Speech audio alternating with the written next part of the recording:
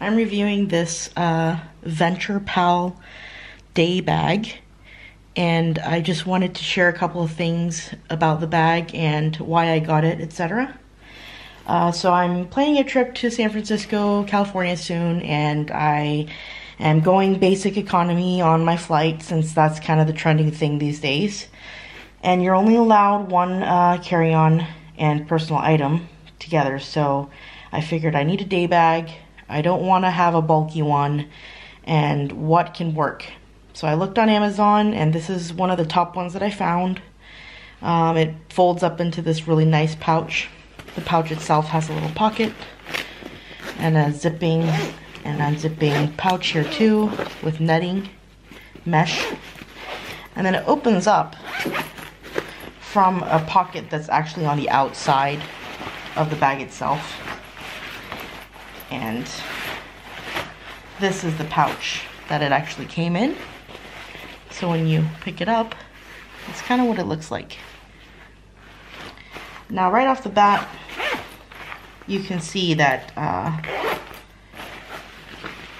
the lining's a little off on the decoration here. That's a reflector. But, you know, it was like 20 bucks on Amazon, so I figured, okay, we'll still give it a shot. I noticed that the zippers here, first thing off the bat was when you try to zip it closed, it tends to get stuck on this little flap here. And the flap is kind of to cover the zipper and make it look flush and kind of sleek. But I find it a little difficult to actually open the bag itself with that piece there. And I also find it to get stuck on these little pieces here uh, of fabric. But considering that it's a very thin bag, um, there's really no structure on the bag itself because the fabric is just so thin. I guess that's another flaw that I would kind of uh, make do. There is a buckle here and it's called a sternum buckle. It's got a whistle on it and it's pretty nice quality.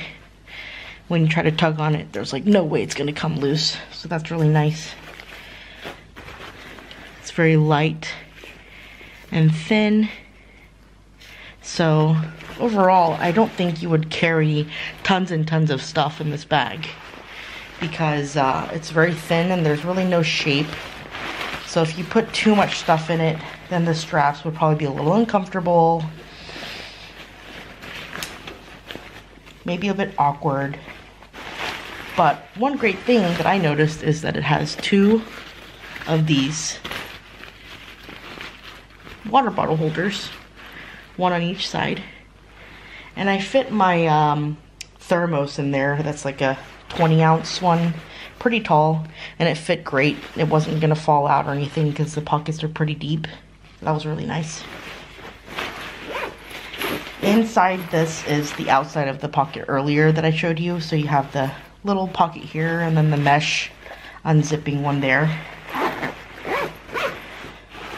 Then you have another pocket here at the top of the bag.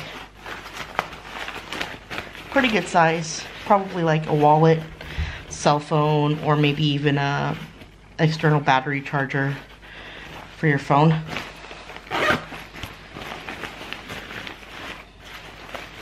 And then when you open up the main compartment here, there's a main compartment that's very large. And when you actually look at it from the side of the bag, it's pretty big. And then you have like a laptop sleeve here, but there's no padding. It's just very thin material. And even at the bottom of the bag, it's very, very thin material here.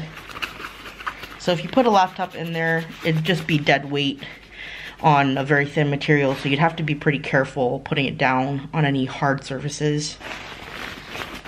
And then when you look deeper in the bag, there's another compartment here that's like a smaller sleeve.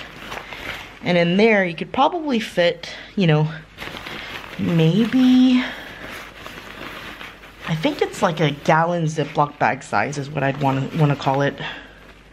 It's kind of hard to see because it's pretty deep in there. But yeah, this is the 35 liter. Um, I do feel like it could fit that much in this bag if you really packed it full. Um, I put like a couple of hoodies in here earlier and some water bottles and you see how deep it is here and how wide it is also.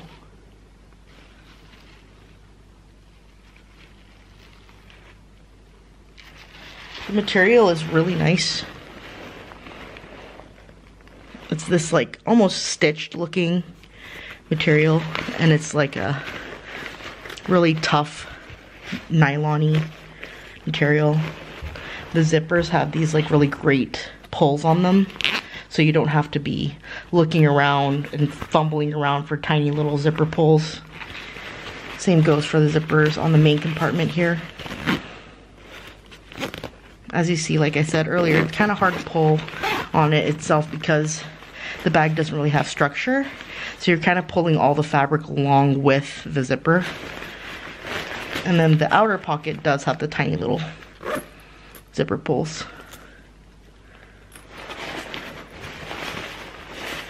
There's also a strap here with buckles so that you can kind of pull the weight together into the bag.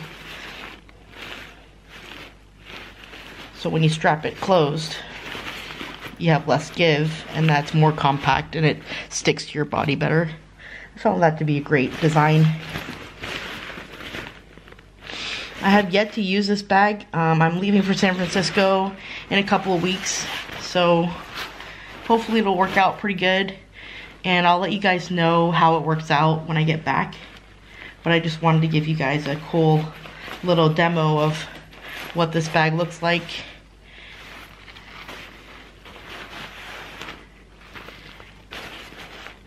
And hope it will work out great. But we'll see. Stay tuned.